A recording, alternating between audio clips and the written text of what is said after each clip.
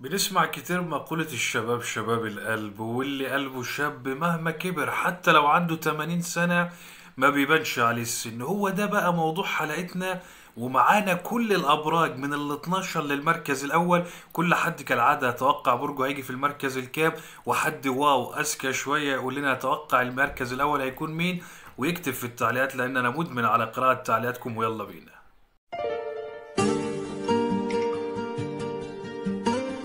أهلا بأجمل ناس في الدنيا. برحب بكم سريعا وريت الجديد يعرفنا بنفسه عشان نرحب بيه واللي ما اشتركش طبعا يشترك عشان إشعاراتنا توصل له أول بأول كده. وهقول حاجة سريعا. طبعا الفترة الأخيرة وأنا نوهت ولكن لازم أنوه في كل المواقع التابعة لينا كان في نوع من أنواع محاولة الاختراق الحسابات على الفيسبوك والإنستجرام الحسابات بتاعتنا. لذلك لذلك إحنا تواصلنا مع مباحث الإنترنت وتم السيطرة على الموضوع ولكن أنا بعتذر لو كان في أي رد غير لائق أي تجاوز أي خطأ عبر الدردشة حصل أنا بعتذر عنه. إحنا سيطرنا على الأمور تماما وتم تغيير طاقم العمل بالكامل لأن زي ما قلت ده يعتبر تقصير منهم وما يلوموش إلا نفسهم. فأنا بعتذر ولكن ال ال الأمور حاليا تحت السيطرة. ما تقلقوش يعني وتعالوا بقى نبتدي كده وندخل في حلقتنا في المركز ال 12 حد توقع برج الثور الواقعية حاضرة وواضحة قوي في شخصية برج الثور وتحمل المسؤولية منذ الصغر رجل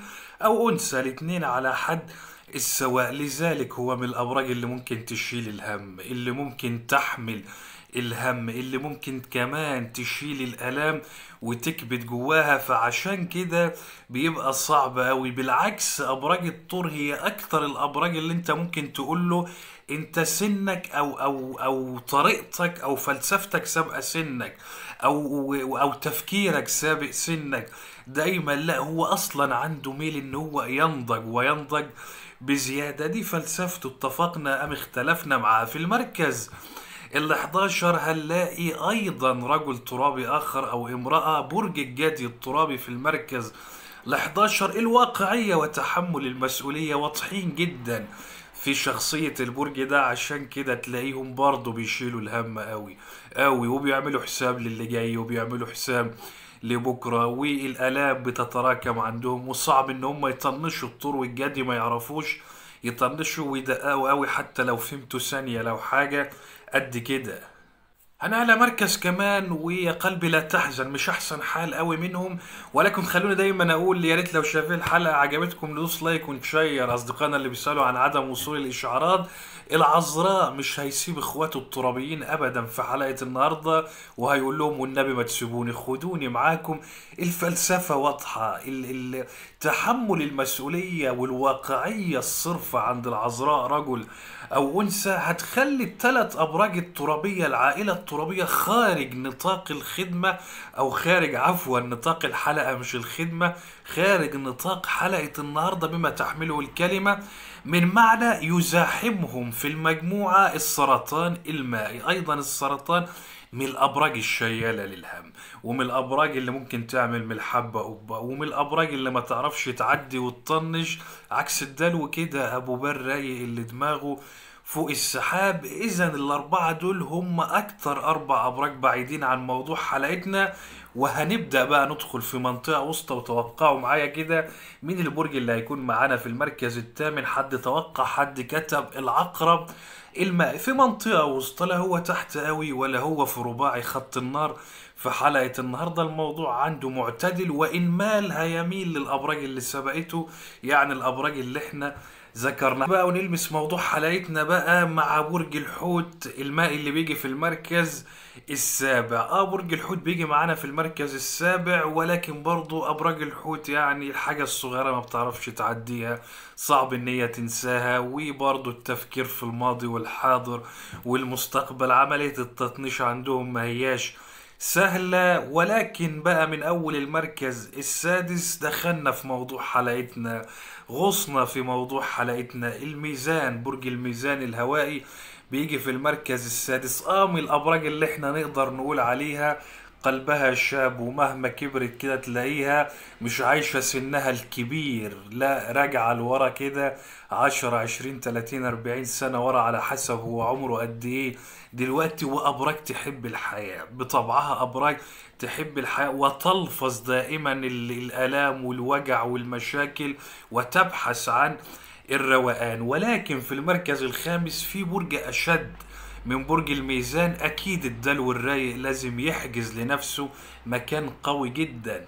في حلقة النهاردة وبيجي يعتبر في أبراج القمة وفي مركز مميز وهو من الأبراج أيضا رجل أو أنثى الفرفوشة النعنوشة الشابة دايما مهما كبرت والشباب شباب القلب نقولها قوي مع برج الدلو وإحنا مستريحين ومهما لو عمره 95 سنة.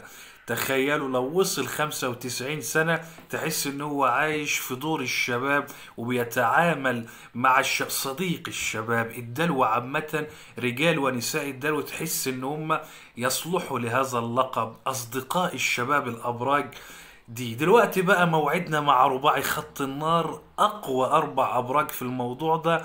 مين يتوقع المركز الأول؟ ويكتب يلا بينا على المركز الرابع. حبيب الحمل الناري أول برج معانا في رباعي خط النار. النهارده بيجي في المركز الرابع. اكبر مهما تكبر وحسس انت برج الحمل ان هو كبر أو ان هو عجز من جواه بيحب الحياة والشباب قوي قلبه أخضر قوي وبيحب الحياة قوي و... وقلبه مفتوح للناس كلها بالذات رجل الحمل تحس إن قلبه مفتوح للدنيا كلها ما عندوش أي مشكلة. وفي المركز الثالث رجل الأسد نفس الفلسفة أو برج الأسد مش رجل الأسد يعني رجل الأسد والبرنسس على حد السواء ورجل الاسد برضو قلبه مفتوح للناس كلها. ما بيقولش لا يعني قلبه فندق ما شاء الله وعايش سنه وعايش شبابه وقلبه شبابي ويحب الحياة. ومهما كبر إحنا ما عجزناش.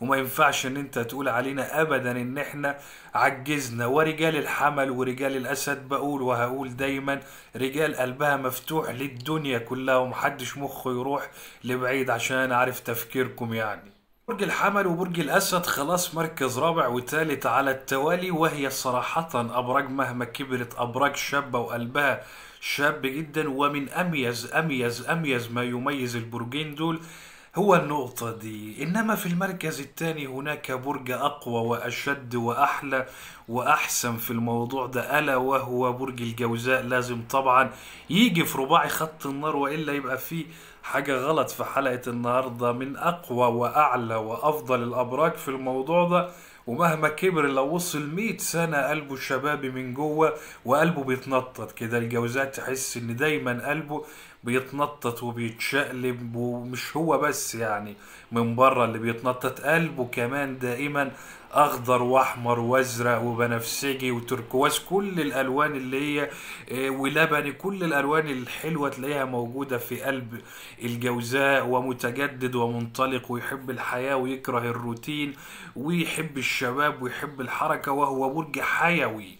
حيوي بشكل كبير قوي بيشترك مع أبراج القمة في النقطة دي وقلبه شبابي قوي قوي. بينما متصدر الترتيب في حلقة النهارده هو برج القوس الناري. أكتر برج ممكن أنت تقابله في حياتك الشباب شباب القلب يا صديقي يا صاحبي. شبابي قوي وعشان كده بنقول إحنا إن برج القوس ده محبوب الشعب. رجل أو امرأة ما حدش يقدر يتعامل مع برج القوس ده من غير ما يحبه ويحب طريقته ويحب براءته ويحب تلقائيته ويحب حبه للحياة ويحب جماله ويحب شبابه ويحب اجتماعيته إن هو بيصاحب الكل ويضحك مع الكل. وصوت ضحكته العالي المميز كل ده وحاجات كتيرة قوي. لو قلتها أكيد هتوجع دماغكم. هتك... هتخلي القوس رجل أو شعنونة أنثى بنوتة في المركز الأول.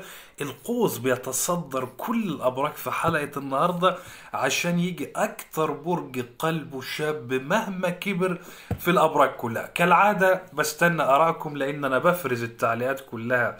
تعليق تعليق وبقول اللي بيسأل إزاي يتواصل معاه الانستجرام الفيسبوك قنواتنا التانية للفضفضة. كل الروابط اللي أنت محتاج تعرفها عننا هتلاقيها في وصف الفيديو. لو أنت على اليوتيوب وعلى الفيسبوك انزل على التعليقات. ومناش أي صفحات غير محمد أبو زيد. يعني أنت لو بتشوف حلقاتي عند حد مش غير محمد أبو زيد اعرف إن هو كذاب واعتصق فيه اعمل له بلوك على طول وإبلاغ. خليه ياخد جزاءه وهتوحشوني. وموعدنا كل يوم الساعة 8 بتوقيت القاهرة آه، وتصبحوا على خير.